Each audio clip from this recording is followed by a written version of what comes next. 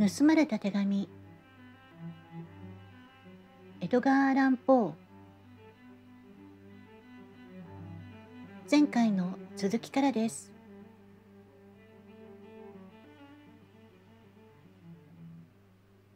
僕の言おうとするのはもしあの大臣が数学者であるだけだったら総監はこの小切手を僕にくれる必要がなかったろうということなんだ。しかし僕は彼が数学者でありかつ詩人であることを知っていたんで僕の物差しを彼の周囲の事情を考えて彼の才能に適合させたんだ。僕はまた帝人としてのまた大胆なアントリガンとしての彼をも知っていた。そういう人間が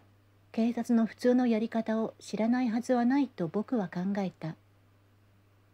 彼は自分が待ち伏せされることを予想しないはずがなかったろう。そして事実は彼がそれを予想したことを示している。彼は自分の屋敷が秘密に調べられることを予知したに違いないと僕は思った。彼がちょいちょい夜家を開けることを総監は自分の成功を助けるものだと思って大いに喜んだが僕はただそれを警察に十分に捜索させる機会を与えそうしてそれだけ早く彼らに G が事実とうとう到達したあの確信手紙が屋敷のうちにないのだという確信を与えようとするルーズだと考えた。それからまた僕がさっきちょっと骨を折って君に詳しく話したあの隠された品物を探す場合に警察の一本上司な方針についてのあらゆる考えだね。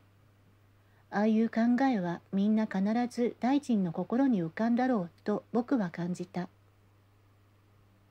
そういうことを考えると彼はどうしても嫌おうなしに普通の隅っこの隠し場所などは一切目もくれなかったに違いない。あの男が自分の屋敷の一番入り組んだ引っ込んだ隅っこでも総監の目や単身や霧や拡大鏡にとってはごく普通の戸棚同様に開けっぱなしのものであることを知らないほど愚鈍であるはずがないと僕は考えた結局僕は彼がたとえ熟慮の末に選んだのではなくとも当然の成り行きとして単純な手段を取ったに違いないということを悟ったんだよ。君は我々が最初に総監と会った時この事件がそんなに彼を悩ませるのはそれが極めて分かりきっているためかもしれんと僕が言ったら総監がやけに笑いこけたことを多分覚えているだろ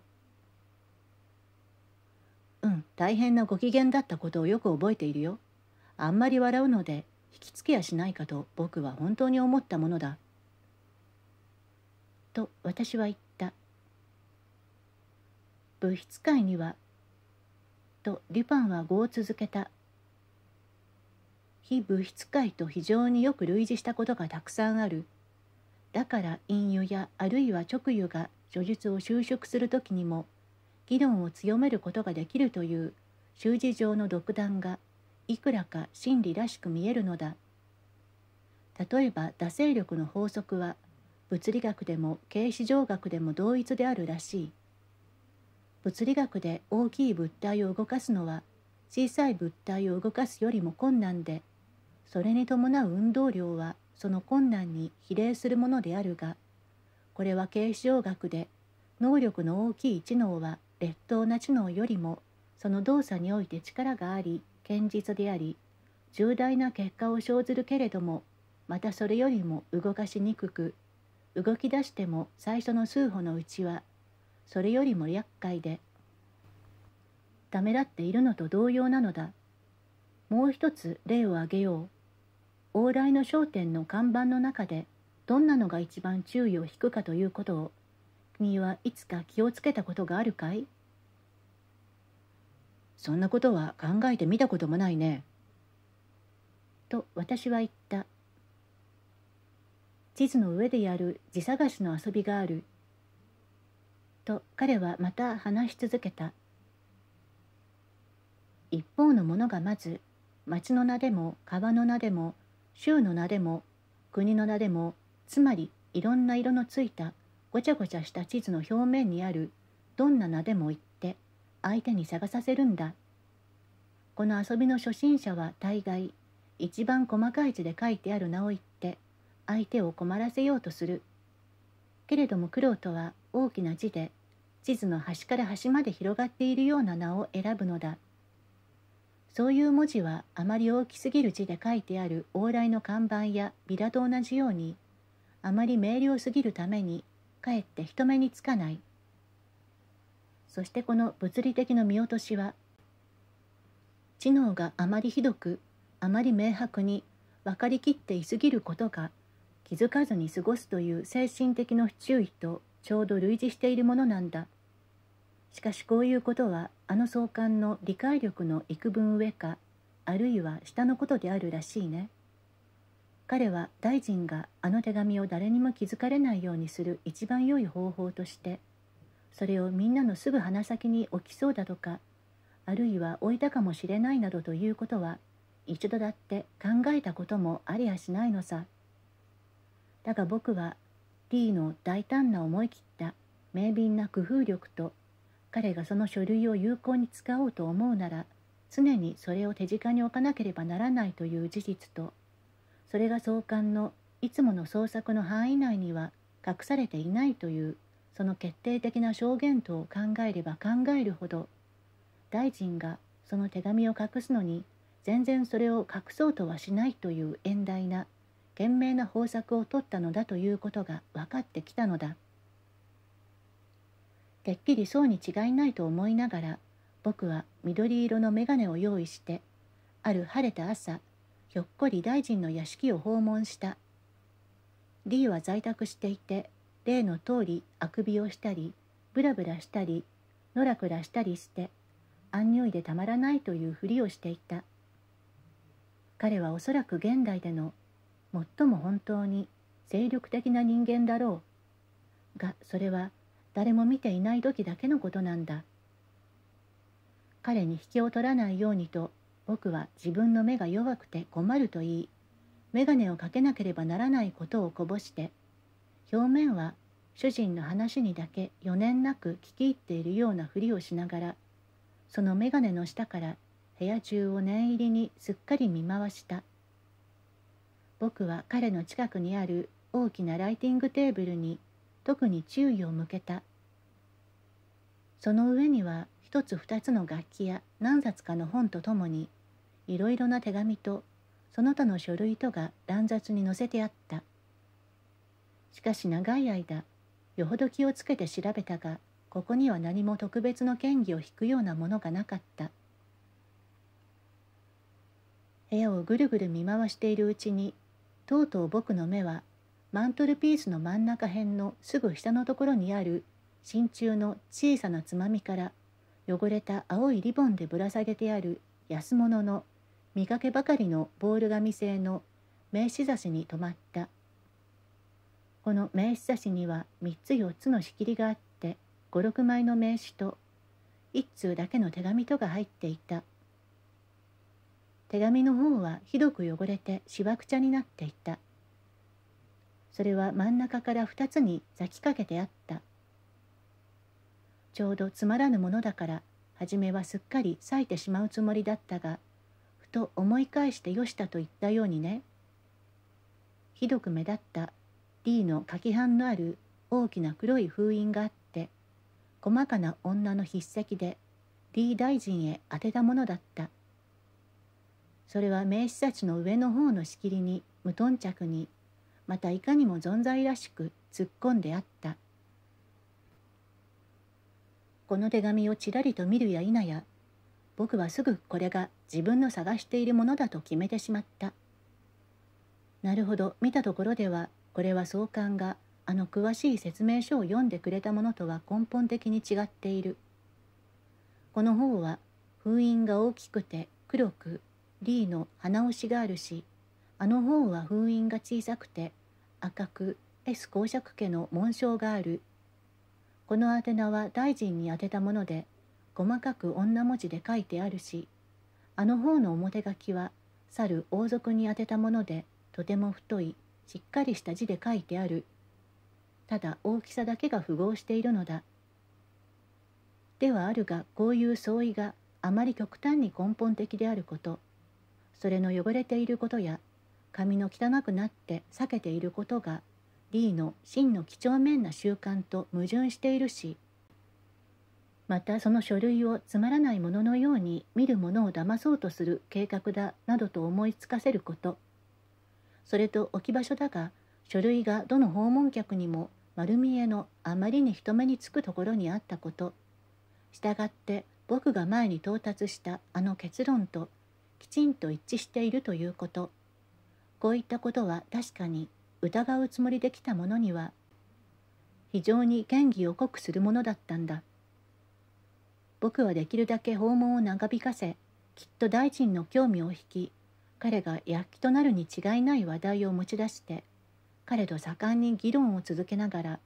少しも手紙から注意を離さなかったそうして調べている間にその外観や名刺差しの中の入れ具合などを僕は暗記した。そしてとうとう一つの発見をしたがそれは僕が抱きそうなどんな小さな疑いでも消してしまうものだった。手紙の縁をよく見ているとそれが必要以上に擦れていることが分かったんだ。それは硬い紙が一旦折り曲げられて紙折りヘラで押さえられ